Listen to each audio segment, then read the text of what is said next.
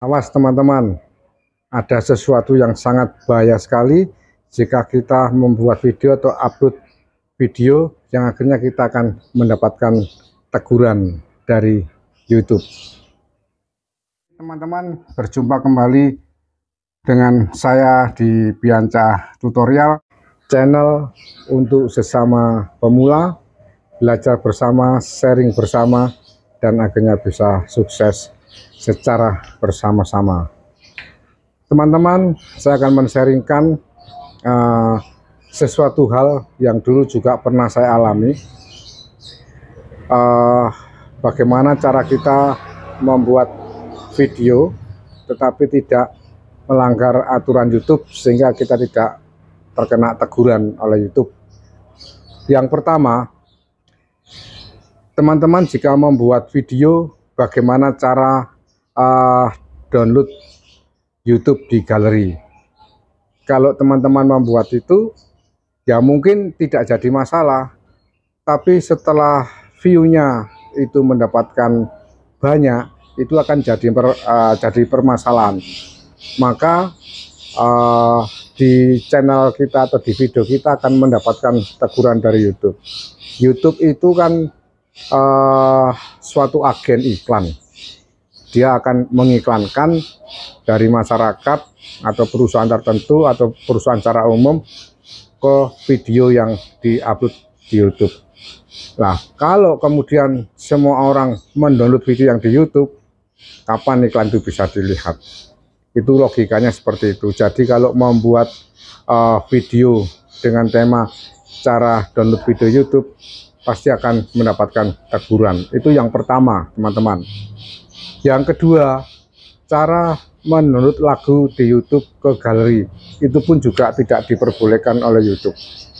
Jadi kalau kita membuat video seperti itu sama, tidak jadi masalah. Tapi begitu view kita sudah banyak atau bahkan kita akan mengajukan monet, pasti ada saja masalahnya. Di situ akan mendapatkan teguran teman-teman.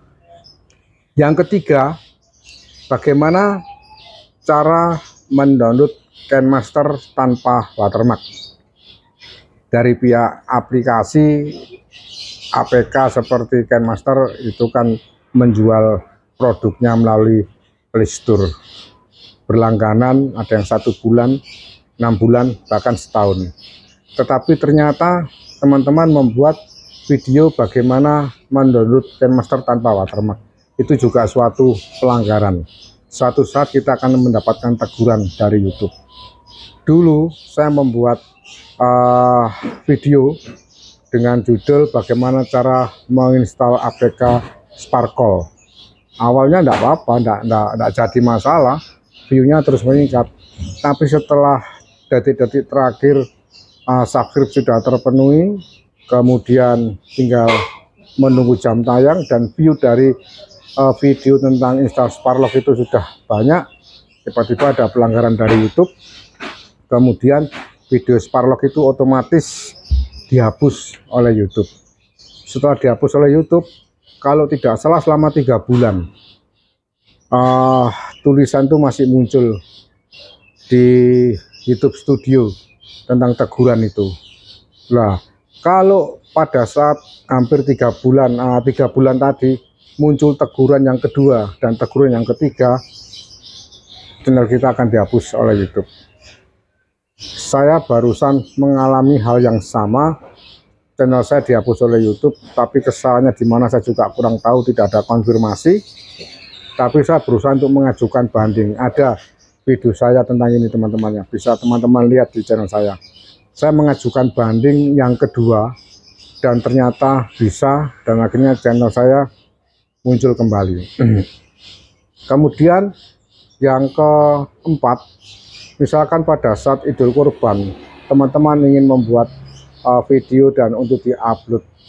Tapi pada saat proses penyembelihan hewan kurban uh, kemudian mengeluarkan darah ya seperti penyiksaan ya mengeluarkan darah pasti uh, saya jamin bahwa video teman-teman itu nanti juga akan mendapatkan teguran dari YouTube.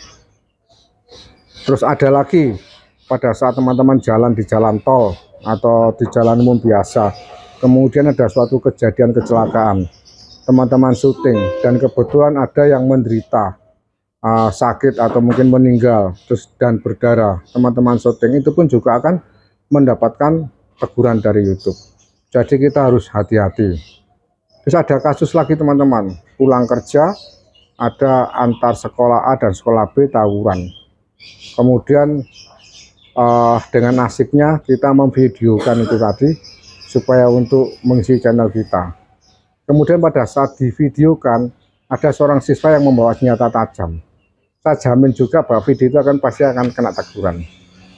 Jadi kita uh, sebagai konten kreator pemula kita harus hati-hati kita harus cermati aturan-aturan apa saja yang ada di YouTube yang terkait dengan video jadi apa yang saya sebutkan tadi ini adalah salah satu contoh bahwa video itu jika teman-teman upload, teman-teman buat, kemudian teman-teman upload, itu akan mendapatkan teguran dari YouTube. Dan teguran itu yang saya alami tidak langsung, tetapi setelah view-nya merangkak sedikit demi sedikit dan banyak penontonnya, teguran itu baru muncul. Oke teman-teman, dengan sharing pengalaman saya ini mudah-mudahan menjadikan pembelajaran bagi teman-teman semua ya bagi sahabat kita semua supaya kita lebih berhati-hati dan waspada dan tidak membuat video semacam itu. Salam sukses dan sampai jumpa pada tutorial berikutnya. Dadah